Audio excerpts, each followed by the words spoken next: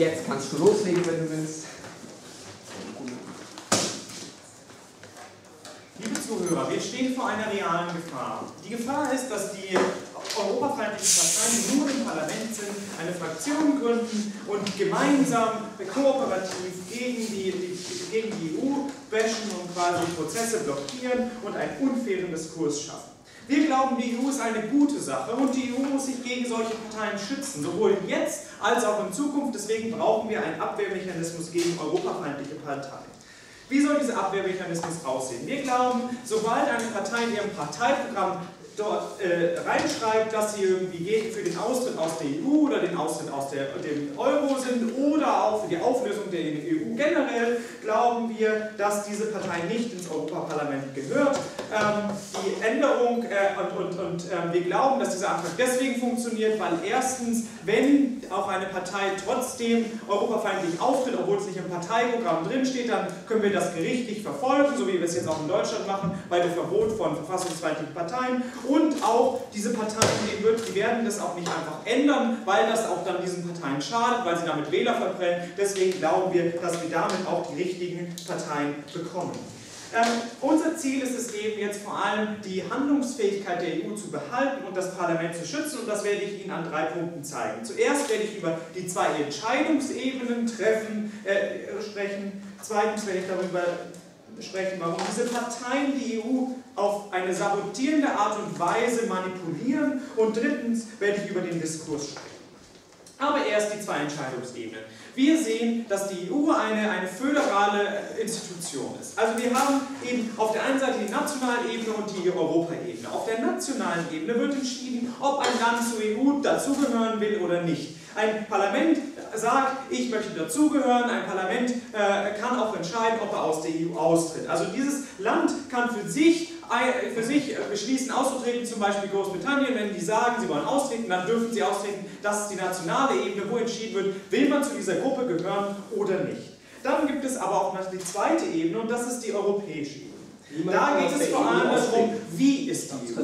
Was soll die EU, wie soll die EU, was soll die EU machen? Und gerade dort wird entschieden, eben welche Gesetze werden auf EU-Ebene entschieden und welche Gesetze gibt man sich als Gruppe. Das heißt, dort wird quasi konstruktiv ausgefüllt, was die EU ist und wie die Leute, und wie die Leute damit umgehen. Und also das heißt, dort brauchen wir Leute, die die EU auch unterstützen, weil eben nur so konstruktiv auch die EU handlungsfähig ist und die EU auch eine, eine, eine Einigung, also eine eine, eine, eine, eine Wieso reichen 70 nicht aus? Der zweite, der, der, der, der zweite Punkt, der hier kommt, ist eben, dass nun, wenn wir solche Parteien in diese, auf dieser Ebene der EU haben, dann führt das eben dazu, dass die ein Interesse daran haben, eine selbsterfüllende Prophezeiung zu zeigen. Also das heißt, die sagen, die EU ist schlecht und sie werden auch dann dafür sorgen, dass die EU schlecht ist, weil sie eben in diesen Gremien sitzen. Wie werden die das zum Beispiel machen?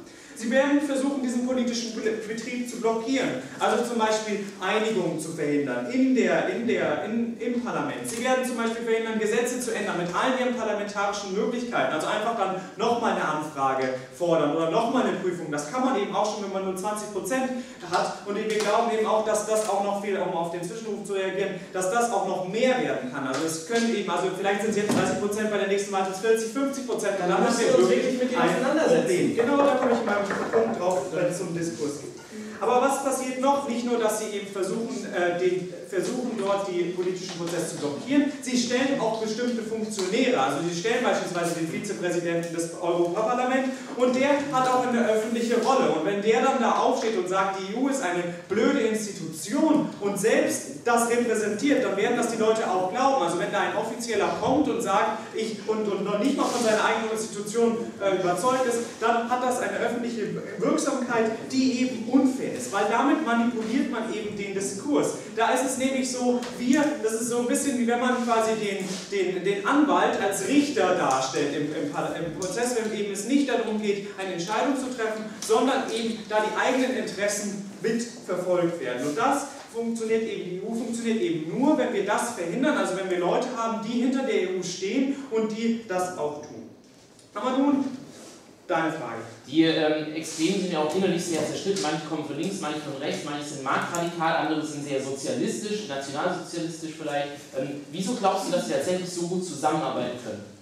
Also wir glauben, weil sie einfach eins, erstens, sie müssen vielleicht gar nicht zusammenarbeiten, weil sie auch schon einzeln die Sachen blockieren können, weil sie auch da anfragen können. Aber wir glauben auch, dass es trotzdem diese, diese Ablehnung der EU sie trotzdem einigen kann. Und wir sehen eben, dass das einfach, dass diese Parteien in der, auf der EU keinen Sinn machen und dort keine, keine Legitimation haben.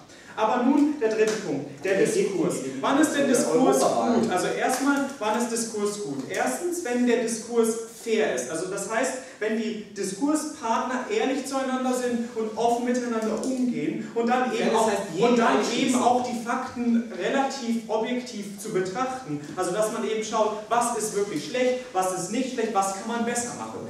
Dekonstruktiv ist eben, wenn man eben Fakten schafft. Also wenn die eine Partei sagt, oder wenn die eine Partei es schafft, äh, schlechte Fakten zu schaffen, die eigentlich gar nicht Problem der EU sind, sondern durch die Partei verursacht sind und dadurch der EU Schaden nehmen, dann ist der Diskurs nicht fair. Aber der Diskurs ist auch schlecht, wenn er an der falschen Stelle stattfindet. Denn wir glauben, der Diskurs über EU oder Nicht-EU soll nicht an der EU stattfinden, sondern soll in dem Land stattfinden, also dort, wo eben das Land passiert. Wir glauben nämlich, dass auch die Entscheidung, der Diskurs auf Ebene der EU, der, der, der, der zum Beispiel UKIP, wenn die, der, wenn die wollen, dass, ähm, dass, ähm, dass Großbritannien austritt, führt das auch dazu, dass Deutschland, dass in Deutschland vielleicht Wähler motiviert werden, die EU nicht so toll zu finden. Das heißt, den Schaden, den das diese Parteien anrichten, den trifft, den trifft auch Länder, die die EU befürworten. Und das ist eben etwas, was wir, was wir glauben, was schlecht ist, was eben da, dazu führt, wenn der Diskurs nicht an der richtigen Haben Stelle stattfindet. Also wir, wir sehen eben, dass wir, ja, wir haben mündige Bürger und die können das eben entscheiden auf der nationalen Ebene, aber eben auf der, aber das Problem ist eben, dass wenn die EU, die EU nimmt Schaden und nimmt auch Ländern Schaden, wo die EU unterstützt wird. Und da sehen wir, dass es wieder diese überproportionale, diese, diese sabotierende Wirkung, die diese Parteien haben. Und dann ist diese Debatte nicht gerecht und dieser Diskurs auch nicht gerecht, weil er eben Leute betrifft, die eigentlich an diesem Diskurs gar nicht teilhaben wollen, weil die eben überzeugt sind von der EU und manipuliert werden durch diese Parteien. Ich habe also gezeigt, es gibt zwei Entscheidungsebenen und wir sollten den Diskurs auf die Entscheidungsebene geben, wo er richtig ist, in die nationalen Parlamente, dort dürfen diese Parteien passieren, aber auf der EU-Ebene, da wird die Politik gemacht, die EU-Politik und diese EU-Politik soll möglichst gut für die Bürger sein und da die Schaden nimmt gegen die Antrag.